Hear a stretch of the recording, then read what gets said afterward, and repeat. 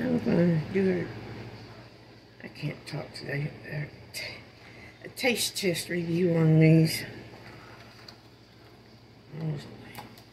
Have a bite.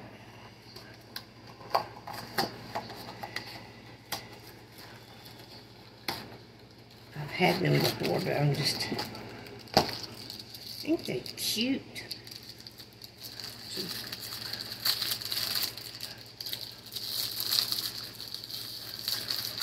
I can get it open.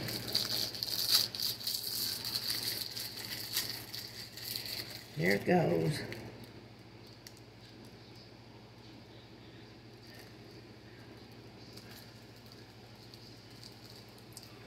I give it a thumbs up and I give it a 10. These are good. Y'all need to go get some of these. See y'all later.